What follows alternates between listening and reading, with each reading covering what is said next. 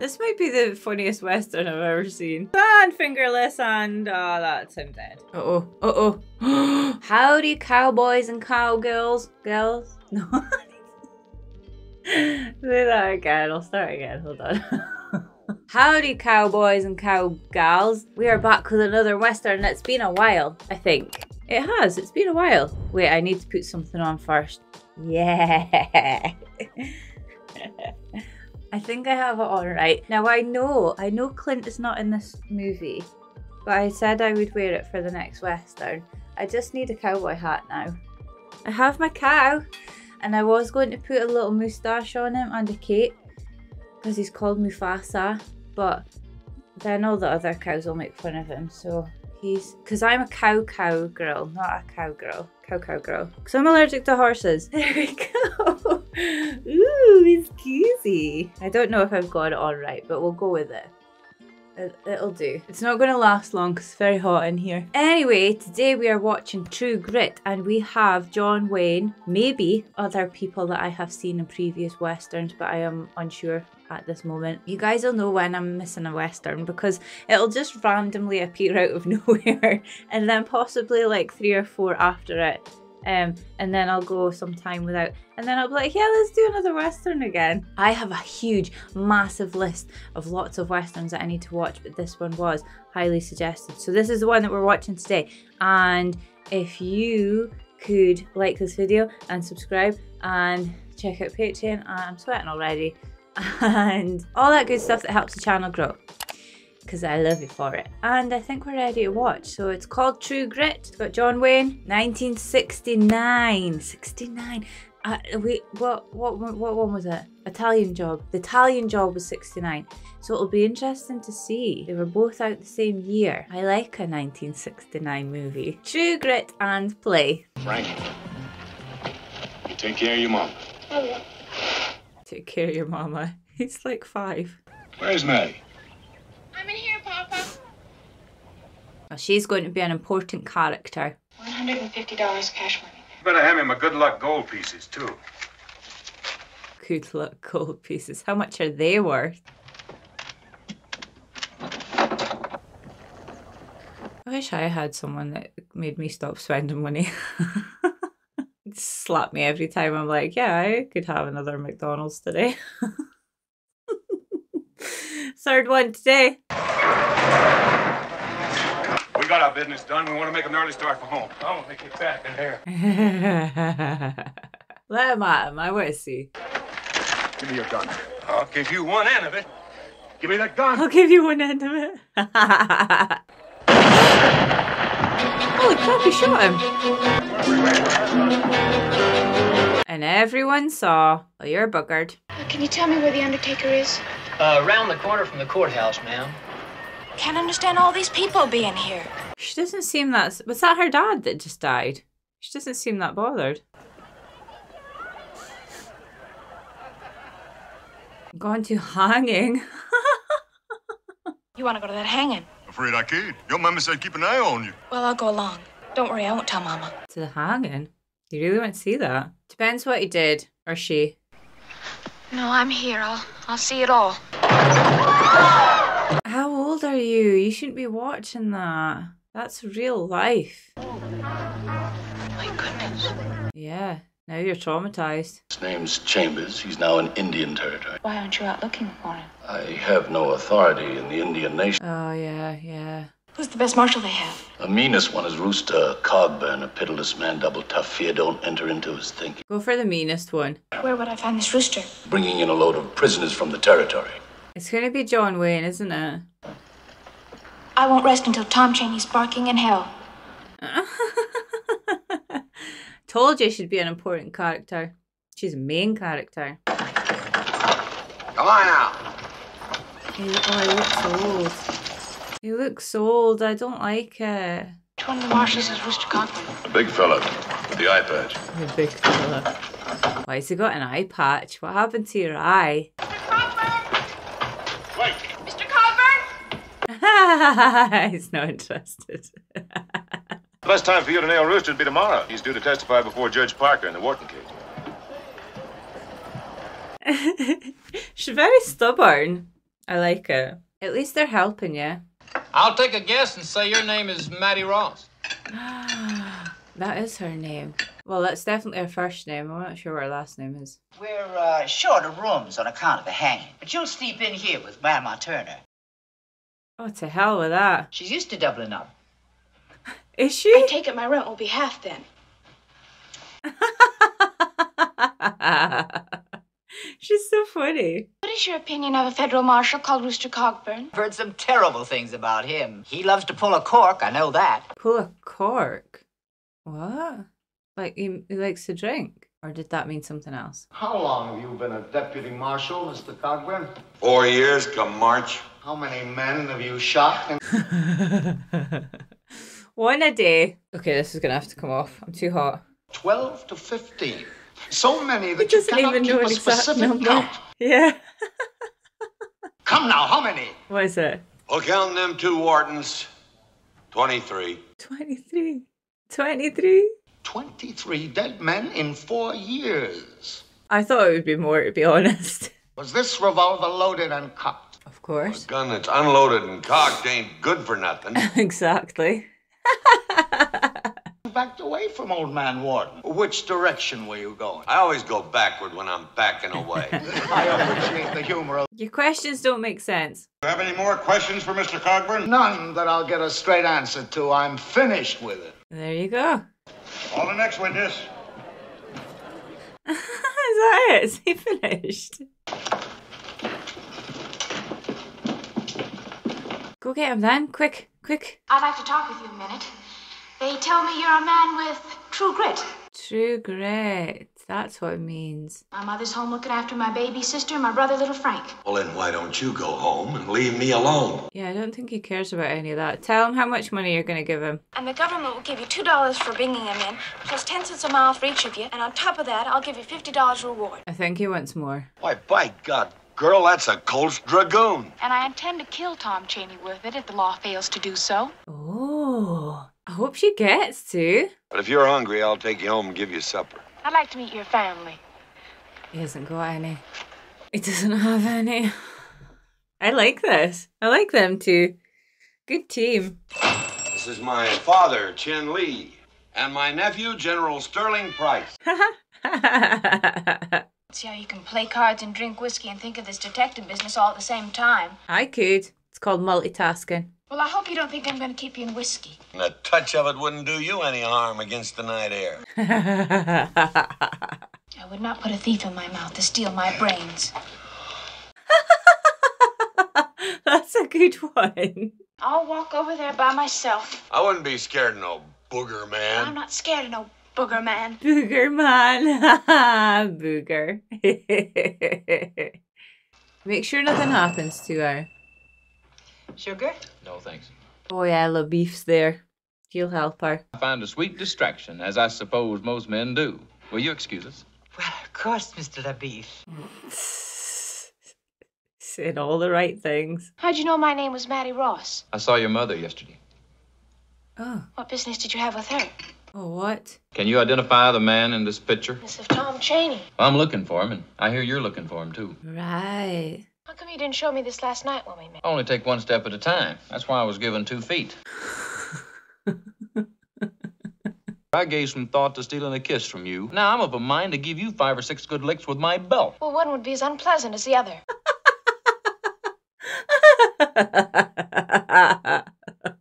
And I will make money, and your lawyer will make money, and you, Mr. License Auctioneer, you will foot the bill. You are a damn nuisance. Just give her the money. Have you ever heard of the Great Arkansas River? Well, he was the one that forced them into receivership. Oh, ah. They tried to mess with him. Right. Just give her the money. right. Come inside. 300 plus 400, 700. That's a lot. What do you need all that for? And the price for Judy alone will be $300. Three hun- Now listen very carefully, as I will not bargain. this, this is hilarious. That you get everything except the saddle. I would like to have that in writing. You'll find it in order. You had that already written out. Yeah, she knows what she's doing. I'll give you a check. I prefer cash. I think everyone prefers cash. Checks are shit. Do you know Marshal Rooster Cogburn? Everyone does. Heard of Rooster Cogburn, and some people live to regret it. I would not be surprised to learn that he's a relative of yours. oh, hey, it would be cool if, it, if they found out they were somehow. Well, you're not going. You've misjudged me. I can't go up against Ned Peppers. Yeah, I wouldn't go either. Just leave him to it. And here's $25. I'll give you another $25 when we leave, and 50 when the job is done. How much would that be now? This is what I like to know. I'll be more than ready. Um, I just can't see her being any help. But then, yeah, she maybe will be. She's strong minded, but is she physically strong? Young girl fell headfirst into a 50 foot well on the Towson Road. I thought perhaps it was you.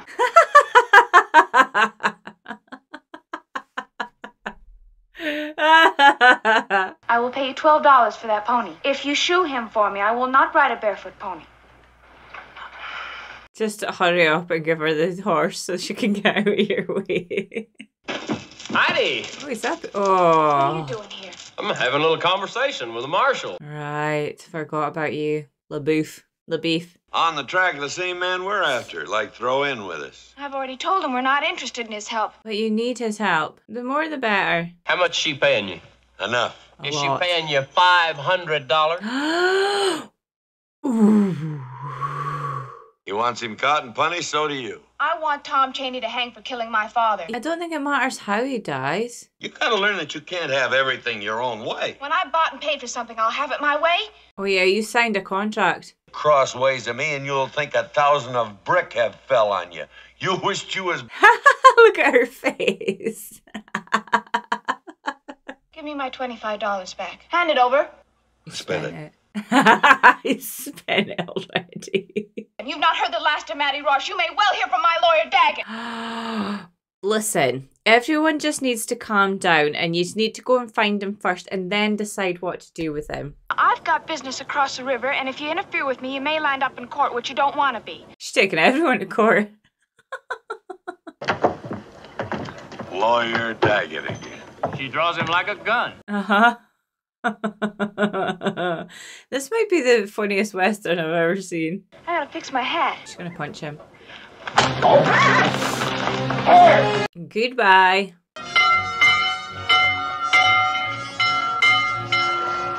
Can she get around the river without going oh through it? Because she might meet them on the other side. That's a bad idea.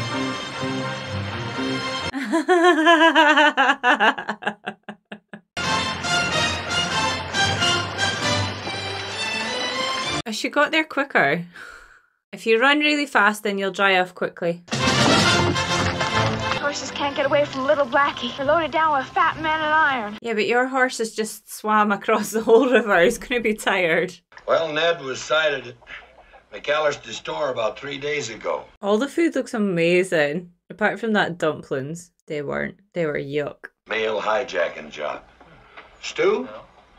Stew? He's going to end up being her new dad. What are those things? Corn Dodgers. Corn Dodgers. What you got in there? Oh, must be 175. Corn do- I want to know what that is. Corn Dodger. I'm going to look up her recipe. Is that a turkey? It's all ripped up. Pretty chewed. Too much gun. Oh yeah. Yeah, yeah, yeah. I remember hearing something like that. It needs to be a clean, clean kill. Or you can't eat it. We're looking for a place to sleep. Well, there's no room for you here. Well, if it's just him, then tell him to get out. Try that on the chimney. On the chimney, he's gonna smoke him out. Oh, he's actually going to shoot him. Speak up. Who's in there? None of your damn business. Oh, there's more than one. There's more than one. Belly down. Spread eagle. This guy did what he was told. Spread eagle. That's a year right there. Oh, my leg hurts. I'll bet it do, sonny boy. Pour some whiskey on it. Six horses in the stock shelter. These men are waiting for somebody. You don't say. Wait, if they're waiting, if there's going to be six, Oh, it's a bit. It might be who you're looking for. Too young to be hopping around on a willow peg. You trying to get at me again? I'm Yeah, getting at yeah. you with the truth. You're gonna lose your leg. I'll tell what I know. Oh, it's gonna be legless and fingerless, and oh, that's him dead. Where's Ned Pepper? They're gonna rob the Katy Flyer. They're coming here tonight for rematch. They won in four horse. Uh huh. Uh huh. George Garrett, Methodist circus rider out of Austin, Texas. But if you just wait for the pepper guy to come tonight, then he'll tell you where he is. Now go saddle the horses. Well, Moon said they were coming here. Yeah. You aim to run? I aim to do what I come here to do. Saddle the horses. Yeah, but wait for the pepper guy, because he'll tell you where he is. Oh, but then, hold on, there's going to be four. Oh, yeah, four of them against only two of you, because the girl's not going to do anything. Makes sense. You take your horse and find a position over there. Don't shoot unless I do. Oh, you're staying. Oh, okay, okay. You shoot him without a call? Well, that'll give him to know our intentions is serious. Yeah. Oh, well, I'll holler down after I shoot, see if any of them want to be taken alive. any shooting before they get in that dugout, and they'll break. You are gonna have to hurry and decide because it's nighttime now and they're coming. Thought they were coming at night. You're late.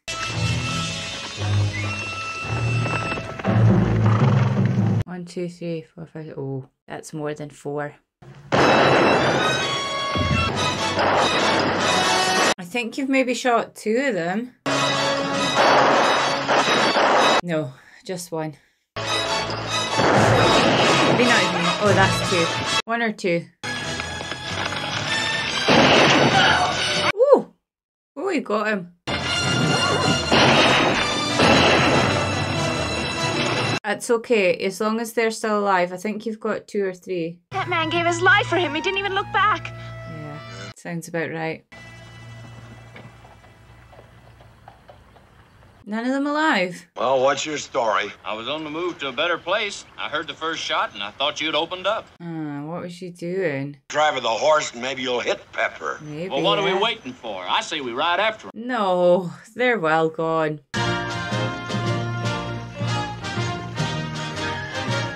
Epic mustache. Why don't you go in and meet Miss McAlester? She'll fix you some dinner. I'll tell the wife to fix something for all of you. I'll tell the wife. Ask her nicely. McAlester can fix that poor little hand of yours. My poor little hand can keep. What happened to your poor little hand? Hayes and some youngster outside. I want you to bury him for me. They're dead? Well, I wouldn't want you to bury him if they wasn't.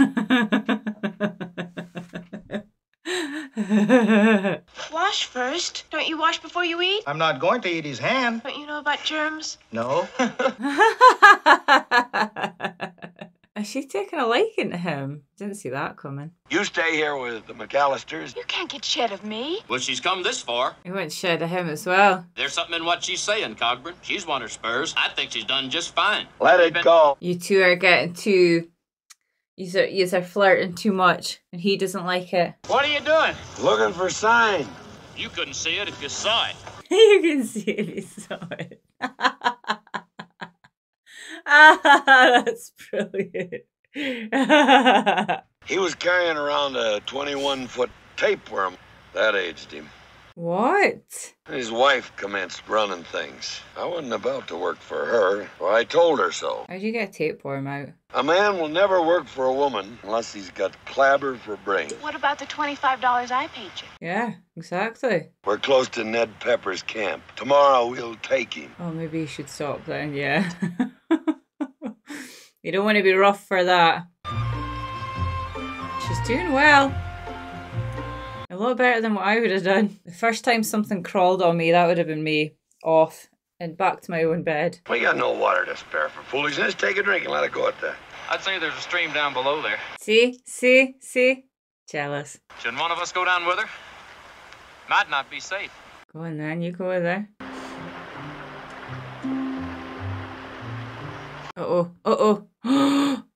Oh, that's going to be the man. That's going to be the. Yeah, it is. Well, that was a coincidence. I know you, little Mattie, the bookkeeper. Shit, he knows you. What are you doing? I came to fetch water. That was not my meaning.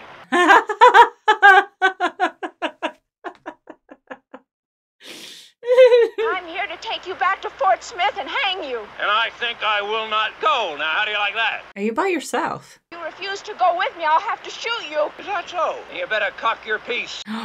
All the way back until it locks. Oh my god. Oh my god. You just got it all the other way around. Now you will follow me. Who who shot him? Who shot who? Did she do that? I didn't think you'd do it. I th- I thought it was one of these two. I got Chaney. Where's the rest though? I just didn't think you'd do it. Everything happens to me. Now I'm shot by a child.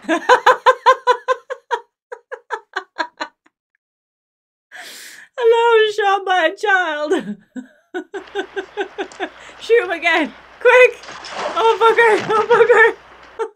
no! Oh, this is so funny. Hurry up down here. Oh god! I, I knew it. I knew he wouldn't be alone. Take her and go. I can't imagine anything bad will happen to her. The movie's too funny for that. If I see you riding over that bald ridge to the north, I'll spare the girl. Oh, I didn't even notice his lip. So that's what happened. How did that happen? Like this? I'm Mattie Ross of Dardanelle in Yell County. My family has property, and I don't know why I'm being treated like this. What? I don't know why I'm being treated like this. Keep this turkey cock quiet or we're having for supper. what the hell are you doing? Why Crazy don't you man. shut up?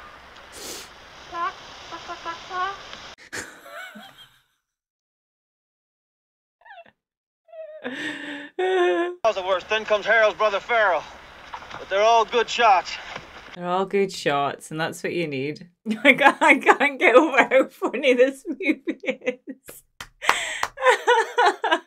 oh, amazing. Let, let me ride up with you, Farrell. No! How about you, Bob? No! Nobody likes him. Do it again, Harold! Do it again! He got shot by a girl, an under 16 girl. What are you doing? Getting some water so I can wash my hands. There's rattlesnakes down there in that pit, and I'm going to throw you in it. You're not allowed to.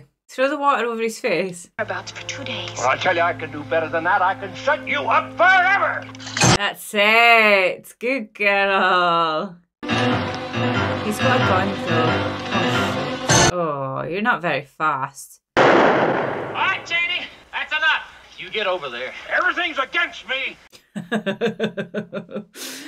not fair. Life's not fair. You and your brother stand clear. I got no interest in you today. Stand clear and you won't get hurt. Shoot him in his ear. Give him a matching scar. I call that bold talk for a one-eyed fat man. He's not wrong. oh my god. He's not surviving this.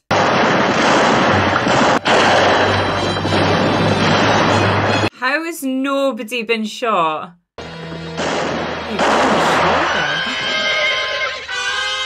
Well, well, well. You're shot in the heart and you're still alive. Well done. Well, first time you ever give me reason to cuss you. Poor horsey. That's such a shame. I hate when animals die. Anything with animals or children suffering in it. Mm-mm-mm. For God's sake, people. Oh no! She's way down the pit! Oh, there is snakes. Shit. Wrong person. Right, shout for him. Shout for him, quick. Where's the ranger? He was just. Ah!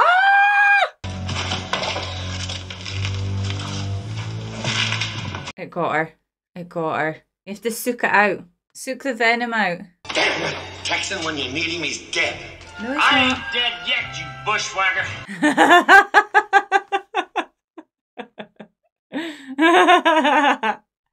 wakey, wakey. Oh, but I do want that other gold piece. Forget the gold piece. But it's mine and I want it. Oh, She's so spoiled and stubborn, but I love her. Bloody hell, everyone's badly injured. Who's going to survive? I don't think you are. Saved my neck twice. Once after he was dead. Oh, he's dead now. Aww. He survived long enough just to help, and then now he's dead. That's sad. Can't leave him like this. I'm the one that's leaving him. If I don't get you a doctor, you're gonna be deader than he is. Aww, bugger. You- You'll have to go back and bury him or take him home. Stop it! He must stop! He's played out! Yeah, you're gonna end up killing him. Yeah. I did think that was gonna happen. What? Are you dead too? You're going to carry her the rest of the way. Right. And then you're going to be her new dad and live happily ever after with your new dad. There we go. And you're not going to be too late. She'll be fine. She's going to look like Frankenstein monster. Chen Lee and General Sterling Price. Not ask which is which, but I'll identify myself. The lawyer. I am lawyer J. Noble Daggett. Uh huh. How is this? Gravely ill, I'm afraid. Still able to direct her affairs. Oh no, she's still going to die. She didn't ask for a receipt, did she? Well, as a matter of fact, she did. Of course she did. An additional $200 for saving her life. Oh wow. He's not going to take it. The boy home to be buried in his ranger suit. No girl showed up. I don't believe there was one. Oh. Boo. For Chaney. Them Texicans forgot how much money they offered for reward. I had to help them remember. I can imagine how you did that. it's amazing. Someday, Mama will be here, and that is for my sister Veronica and her family. Where do you go? And I will be here. I think it's comforting to know where one will meet eternity, don't you? Yeah. Yeah. I would like you to rest beside me, Rooster. what? That place should be for your your family. Yeah. Now, where else would you end up? In some neglected patch of weeds? Well, now I might just take you up on that offer, sis. Told you he was a big softy. He's so sensitive. Stonehill says he can jump a four rail fence. You're too old and too fat to be jumping horses.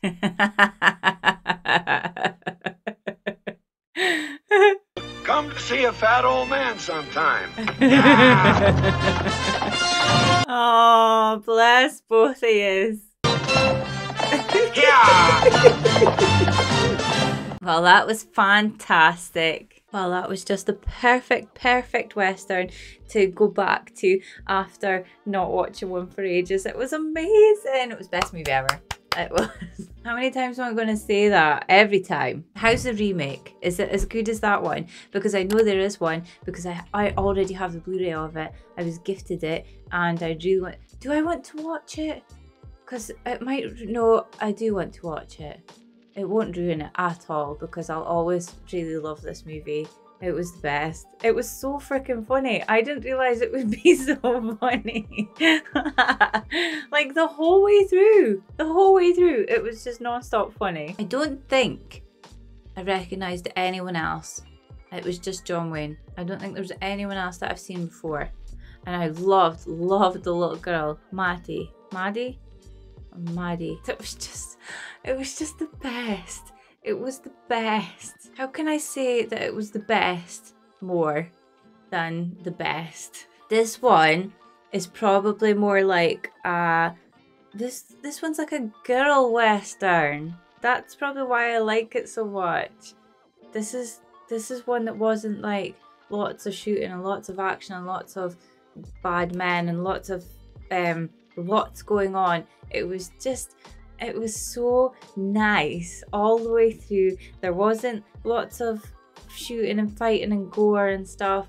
That was, everything was funny. Everyone, everyone was enjoying themselves. I feel like them when they were making this movie, everyone like at the end of it, everyone was like, "Well, that's going to be a bloody good movie." We had an ace time. Whereas, like the other westerns that I've seen, they probably needed therapy after you know it's a funny movie when you're still laughing after it because you're talking about it and you're laughing at the same time. It was very funny. Did I say it was funny? I think that's now my third or fourth John Wayne movie that I've watched and he looked very old in it and very fat. fat and old. I wasn't sure what was going to happen if the Texas Ranger or um the marshal was going to end up with the girl at the end. I wasn't quite sure how old she was, but if she was away to turn 16 or was 16, then I think that's fine. Or would have been fine then, I, I think. And it was normal. So maybe it would have happened if he'd survived the, the ranger, especially if, if he was telling the truth and there was no girl waiting for him at his funeral. And I like that um, John Wayne is now her new like father.